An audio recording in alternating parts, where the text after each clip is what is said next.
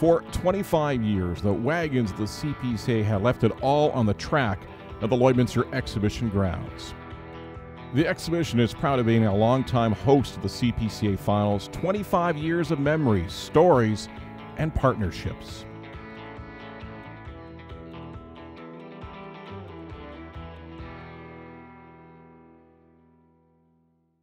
Uh, prior to 1984, we had a standard half-mile racetrack. Uh, we've seen some opportunities to maybe do some horse racing as well as looking to approach and do more chuck wagon races. We've seen it necessary to rebuild this racetrack. Uh, again, Tom Halstead was very instrumental. Another gentleman who was very instrumental in the designing and building of this racetrack was, was Bob Campbell and we rebuilt this track to what we're now being told is one of the best racetracks in Western Canada. We're very proud of that fact. Bob spends and his uh, team spend hours and hours grading, harrowing, preparing the track for the races. It's very integral. We try to get have the track as even and as possible as we can, and, and we want to make sure it's safe to run these horses. And we have done that for so many years and we do get accredited for that all the time. The grounds in the back has really developed nice. You know, they put water and all that stuff, and uh, the track itself they updated that quite, quite substantially over the years, and and then the crowds are just that much bigger now. You know, at uh, the bigger grandstand that they have. We've had always had a good time in Lloydminster, and uh, had a lot of good memories for 25 years. Well, the highlight battle of the day was the battle between Laboucan and Ternier for the association title. Another battle going on. So I, have been part of the CPC radio network for, for 11 years. And, and, and, honestly, when I, when I moved to Lloydminster, going back to this, when I moved to Lloydminster in 89, I knew nothing about chuck wagon racing, nothing at all. Uh, it was my honor to hang out with a George Norman, the late George Norman, uh, to a Buddy Bensmiller, to a Brian Laboucan, and educate myself on the sport. And quickly, I realized what the sport was about and, and how passionate they're towards it and, and, and fell in love with the horses myself. And, and, I, and I, I think that, you know, leads to now 25 years here. I think my wife and I have been season ticket holders for at least 25 years. Oh, I like to see them come around the barrels. I like to see good uh, horsemanship and good drivers. I like going to Lloyd because uh, there's good view. We have a seat away up high. We can see the back of the track from there. We're right in line with the finish line. And so it's a nice evening. We sat there some years with a tarp over our head in the rain. I mean, those people do a lot of work for our entertainment. You know, we always go through the wagon camp and we were sponsored, uh, we sponsored luncheons and things and we'd go down there and they'd patronize. So we know lots of drivers and really enjoyed it over the years. I think it's just the, the rush of the speed and the interest in seeing horses run, uh, whether it's reminiscent of gone by days when people remember when they used to drive horses or um, drive horses to school or use horses to farm with. I know that that generation of people that did that are, are still very enthused with coming and and I'm thinking that our, our newer fan base is probably interested in something that's um, a bit of a different kind of sport and everything. There's speed involved, and and uh, I think it's just the maybe the just the rush of the speed uh, that you get from watching races. You can tell as soon as uh, the race week starts, it's just that vibes in the air of the wagons are in town, and it just the, the talk is there, and like the pancake breakfasts and the, uh, the advertising, uh, the radio, just everything just going into place. And I think this, that part of it, it just makes it excitement for everybody. And everybody knows at that time of year, it just brings everybody to, uh, together to enjoy the show. You know, they were very satisfied with racing where they were, and I believe they came from Craven area up to here. Uh, so it's just like any new bid or any new process. Uh, people are always maybe somewhat concerned that is the market ready for it? Uh, is our track good shape? You know, are, do we have enough volunteers to run and uh, manage a huge event of this nature? The event was destined to be great. The small group of staff and volunteers who initiated the bid were incredible. Tom Halstead and Larry Kirby, along with General Manager Mike Sidoric, led the charge, pushing their committees of peers to put together the winning bid. You know, we started talking about uh, bidding for the finals around the boardroom table Both Tom and both Larry immediately said, yes, we can do this. This is a great opportunity for Lloydminster Exhibition. This is a great opportunity for Lloydminster and region. And those two fellas dug in, worked hard. Our first year kickoff was a huge success. Uh, great crowds. We were, it just, it, and it has grown from there. I remember covering the first year here and, and wondering how many people are going to come.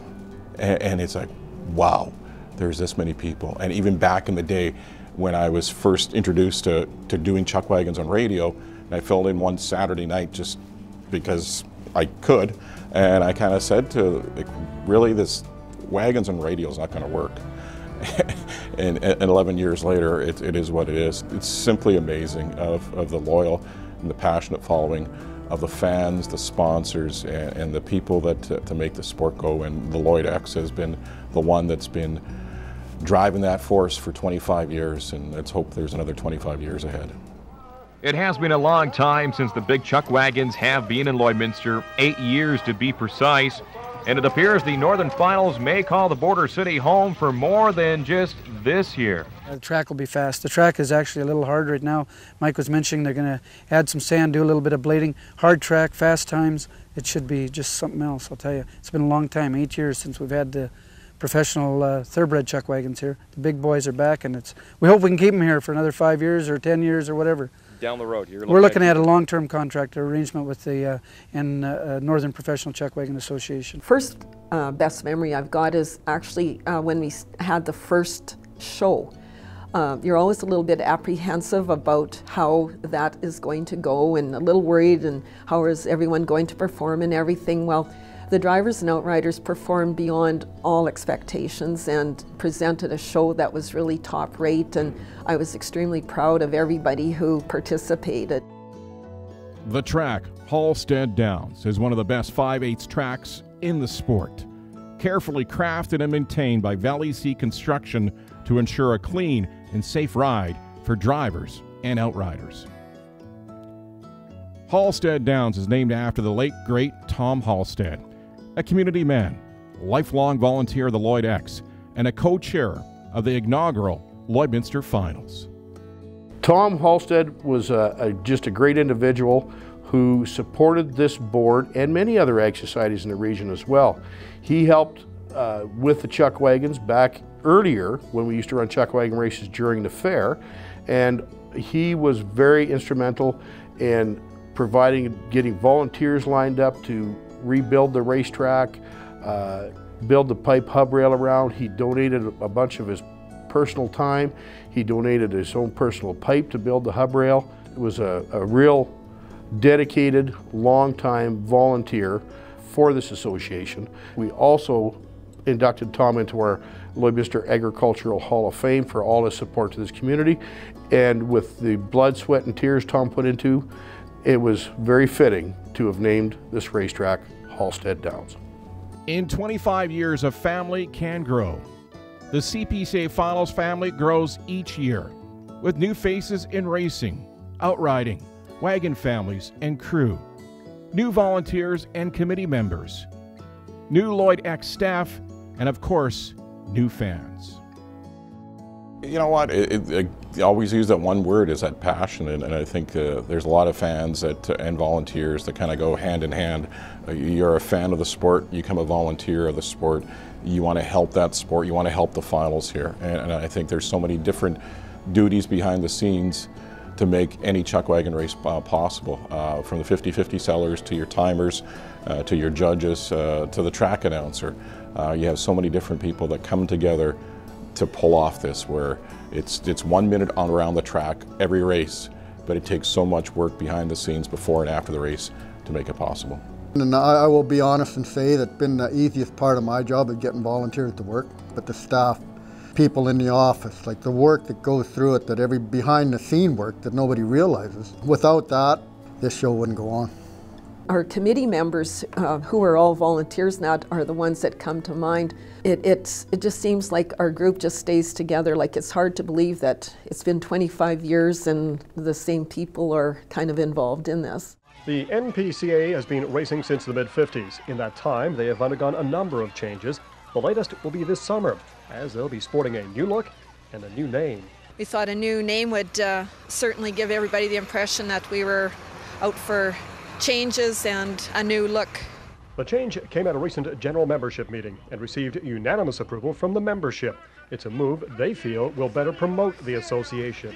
In this day and age when Canada is, is threatened um, as far as uh, its unity and everything, I feel that it's an, our attempt to bring Canada together again. And, and uh, for me, it, it, makes me feel proud to be a Canadian with Canadian attached to our chuck wagon name as well.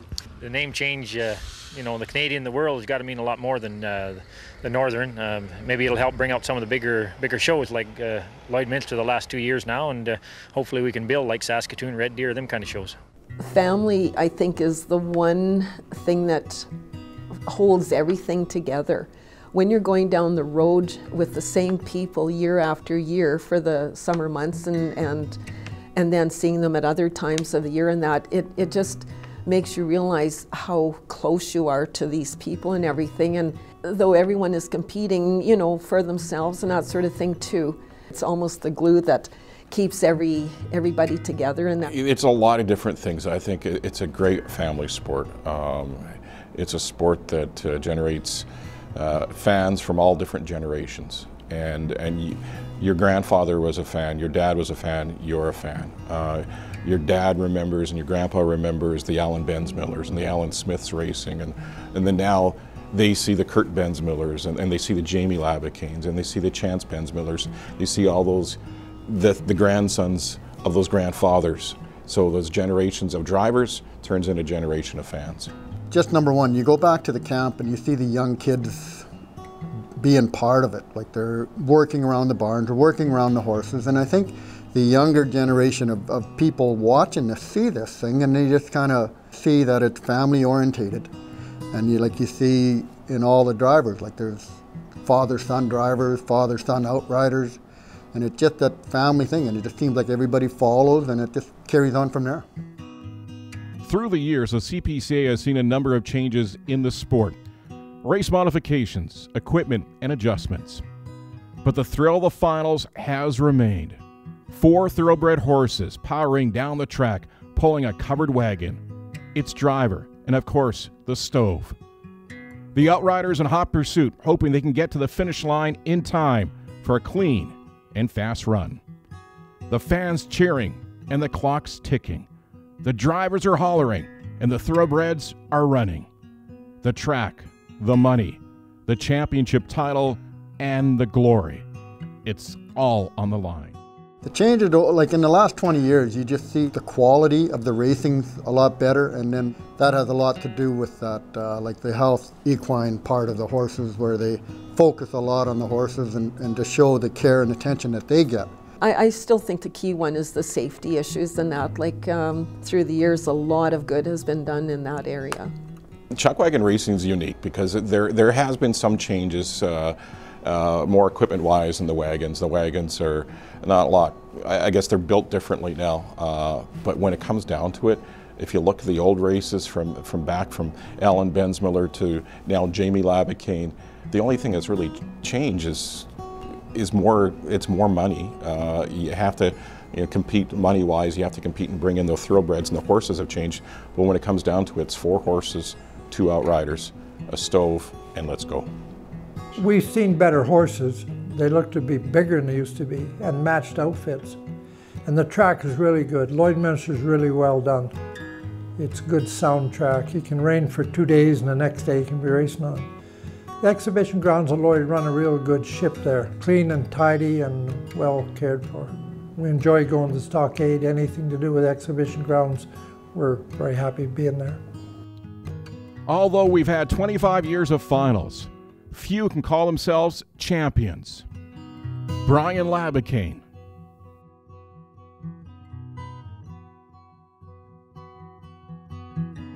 Ray Mitsuing. Bert Crotto.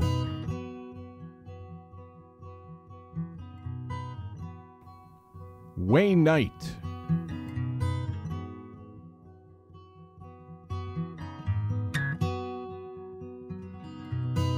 Larry McEwen. Neil Wagenbaugh, Vern Nolan, Gary Gorse,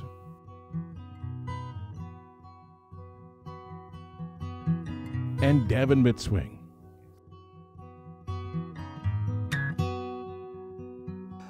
I guess my favorite moment with the crowd, it was kind of a sad moment, but yet, uh, you know, pretty special is in 2014 when I retired, you know, and uh, the kind of the send off they get, gave me into retirement and, uh, you know, what, it, what Lloyd X did for me at, at the finals that, you know, at the end of that year, at the last day there and with the, with the crowd, that was probably the most special. You know, one of the first memories I have uh, of here is, you know, the first time Dad won the, the championship in 93 and I remember my pink my pink t-shirt, my brown cowboy hat going up on stage with Dad and and uh, accepting that award with him and you know what, um, there's not many people who have done as much for this sport as him.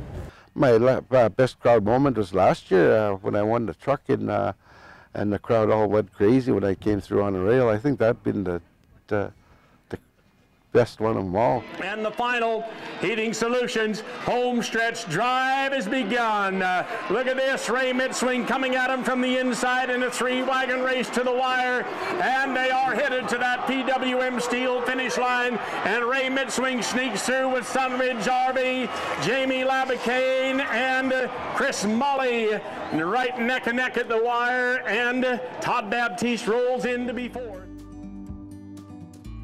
From 1992 to present, the CPCA finals have rallied on the support of both their fans and sponsors. For a quarter of a century, we're lucky to have support from Paradise Hill Valley Farm Supply, Valley Sea Construction, Clean Right Dry Cleaners, City Center Auto Body, and Newcap Broadcasting. Well, again, it's one a show like this can't be put on without sponsorship, and basically we've got some very loyal ones, right from your small heat sponsors right up to your major sponsors, your corporate sponsors. It's phenomenal, and like you said, I think we've got half a dozen long term that have been here for 25 years, and uh, yeah, without them, again, the show, show wouldn't go on. We acknowledge many who have been here from the start, through thick and thin good times and bad, through the sun and the rain. We appreciate your dedication. We couldn't have made it the 25 years without you. We recognize in 25 years we lose as well. We tip our hats to those we have lost along the way. I've taken real pride in seeing how this industry has grown, how these races have grown, and how supportive this is to both the Canadian Professional Chuck Wagon Association, the community and region of Lloydminster, and what it's done for our association. I believe we've helped put this industry on the map with running the best finals that this area has seen. Like I said, I've always been part of it. I've loved it, the sport, the chuck wagon. I love the people. I can basically get along with everyone, and uh, I had good visions of getting up there to 25 years, and I'm very happy that we've made it to this level. Now the next step is what do we keep doing to keep improving it? And like I said, if the CPCA keep can do in their part to improve, well, we want to be right behind them and, and improving to show that much better. So it's, uh, I think long term, I think we're okay for the next little while. This year marks 25 years of the CPCA finals in Lloydminster at the Lloydminster Exhibition Grounds. It's been a hell of a ride. Thanks to all those who contributed to the event's success. We look forward to many more races at Halstead Downs.